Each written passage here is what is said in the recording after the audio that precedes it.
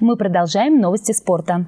По итогам полуфинальной серии сезона 2018-2019 хоккейный клуб Чебоксары стал бронзовым призером первенства высшей хоккейной лиги. Последний матч плей-офф для наших богатырей прошел 3 апреля на домашнем льду в столице Чувашии.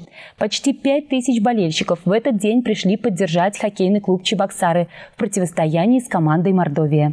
Игра была очень динамичной и напряженной, ведь накануне счет в серии был 3-2 в пользу саранцев. И шестая ледовая баталия стала решающей. По итогам трех периодов богатыри уступили. Финальная сирена зафиксировала счет 1-5, и команда из Саранска выходит в финал которой ей придется сразиться с Ростовом. Ближайшие матчи между ними пройдут 13-14 апреля в Ростове-на-Дону. Победителем станет команда, одержавшая 4 победы в серии. И по предварительным данным лидер определится к концу апреля.